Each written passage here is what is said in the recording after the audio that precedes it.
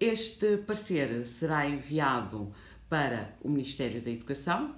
para o Sr. Ministro da Educação, o Dr. Tiago Brandão Rodrigues, o Secretário de Estado da Educação e também para a Secretária de Estado Adjunta da Educação. Para além disso, pensamos também enviar o parecer para outras entidades ou organismos, entre os quais os grupos parlamentares. Uh, neste momento, também há acrescentar que a FENPROF está a desenvolver um projeto de auscultação, um processo de auscultação aos professores sobre a implementação do projeto, portanto, sob a forma de inquérito por questionário. Uh, e que este, este inquérito vai incidir sobre cerca de 10%, no mínimo sobre cerca de 10% dos agrupamentos de escolas, escolas não agrupadas,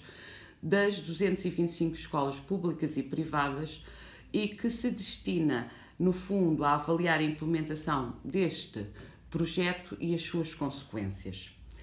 A FENPROF tem também previsto um encontro nacional de professores, provavelmente no mês de junho, onde dará conta dos resultados e apresentará uma análise dos mesmos. Neste momento, recolhemos cerca de meia centena de inquéritos, uh, apontando na sua generalidade para aspectos como a falta de participação dos docentes no processo de tomadas de decisão, o aumento da sobrecarga de trabalho, quer ao nível da escola, como é o caso de sucessivas reuniões, quer ao nível do trabalho individual, individual peço desculpa, entre outros aspectos. É de salientar de imediato que este projeto, o qual é apresentado como um projeto em regime de experiência pedagógica e com adesão voluntária por parte das escolas, pressupõe a sua generalização depois de um processo de avaliação e reformulação realizado pelo próprio Ministério da Educação e, a nível internacional, pela OCDE o que desde logo nos coloca dúvidas sobre a isenção deste processo avaliativo, já que eh, temos aqui juízes em causa própria, que são as próprias organizações instituintes a controlar o processo de avaliação da experiência em causa.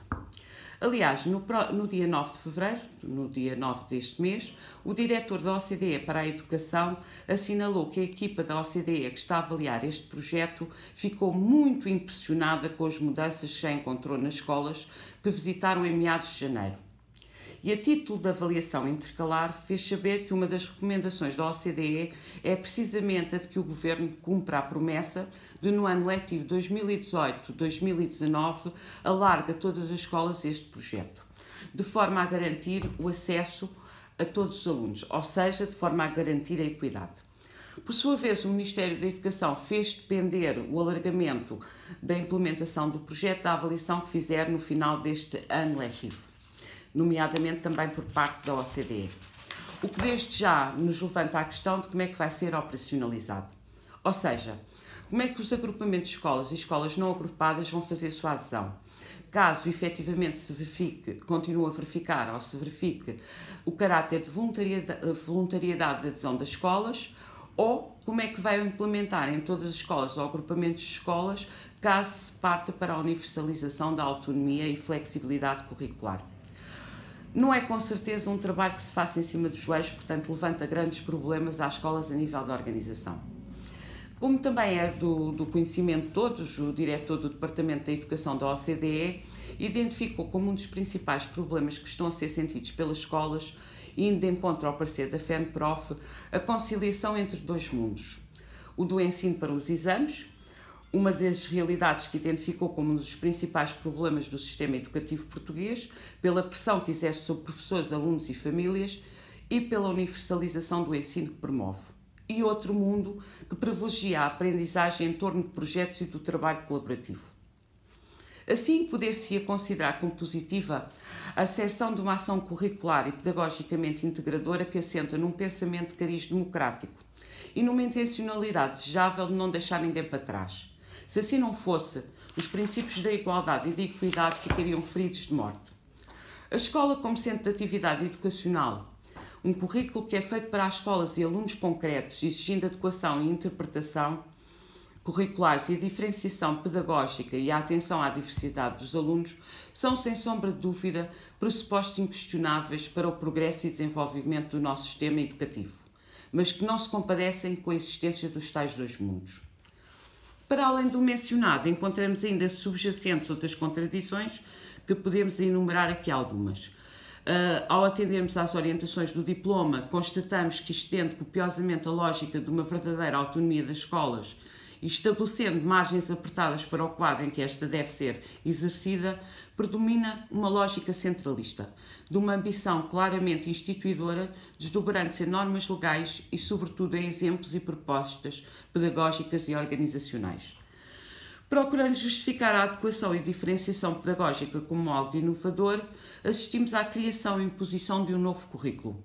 construído sob a fachada de uma pretensiosa designação de aprendizagens essenciais sem qualquer ostentação àqueles que são os verdadeiros pedagogos, os professores. É do conhecimento geral que o currículo nacional é, e não podia ser de outra forma, adaptado às necessidades e condições contextuais dos alunos e das suas comunidades, fruto da autonomia pedagógica e profissional dos professores. A relativização ou localização do currículo escola a escola, permitindo que 20% do seu conteúdo e tempo possa ser alterado e redistribuído, pode abrir espaço à especialização curricular de certas escolas, tendo em vista responder às exigências dos grupos sociais, culturais e económicos dominantes.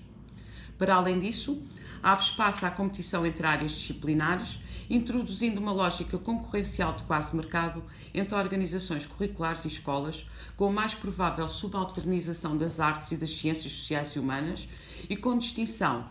entre disciplinas de primeira e de segunda, conforme sejam ou necessitem de ser aferidas por exames externos, colocando também aqui em causa o princípio da igualdade dos alunos uh, e no acesso quer ao currículo, quer ao, ao ensino superior. Acrescenta-se ainda que, quando se propõe que as opções curriculares das escolas possam passar pela combinação total ou parcial de disciplinas, pela alternância ao longo do ano letivo de períodos de funcionamento disciplinar e outras uh, menções que vêm feitas no tal despacho, tais como a organização do funcionamento das disciplinas no modo trimestral ou semestral, ou outra organização, ou pela criação de disciplinas de espaço ou tempos de trabalho para o desenvolvimento de componentes de currículo local, entre outras, com o contributo interdisciplinar, não se leva em conta que as escolas se debatem com inúmeros constrangimentos. Uh, e, efetivamente, não se criaram as condições para ultrapassar estes constrangimentos. Não conseguimos de forma alguma esgotá-los todos, uh, mas passamos a enumerar ou a elencar alguns, e para os quais o Ministério da Educação manifesta absoluta indisponibilidade para os ultrapassar ou para os colmatar. E que, no fundo, vão conduzir ao desgaste da classe docente, ou vão acentuar, melhor dizendo, o desgaste da classe docente, e uh, isto passa, entre outras coisas, pela manifesta insuficiência de professores,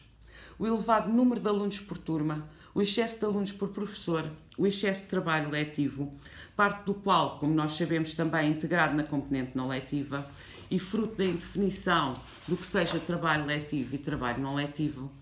uma carga burocrática desproporcionada, falta de tempo e de oferta para levar a cabo perspectivas de formação e desenvolvimento profissionais,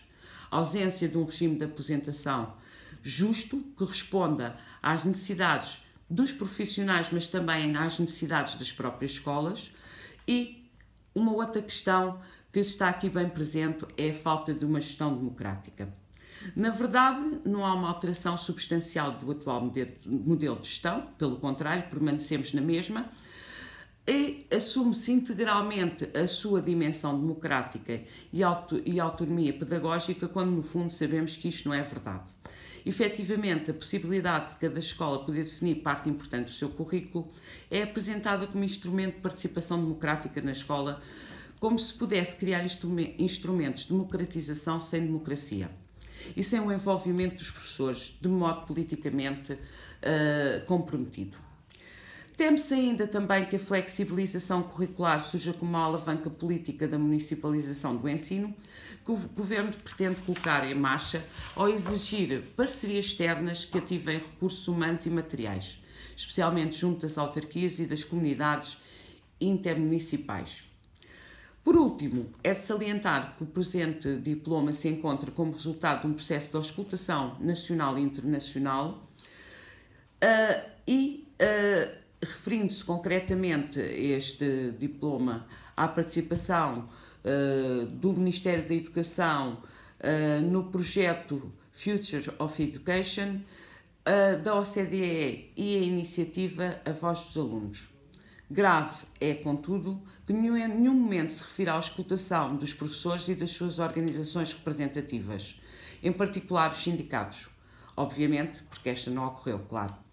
Aliás, em todo este processo, os professores foram, por norma, marginalizados no momento de decidir, sendo-lhes reservado apenas o papel de executores, o que, lamentavelmente, acontece sistematicamente.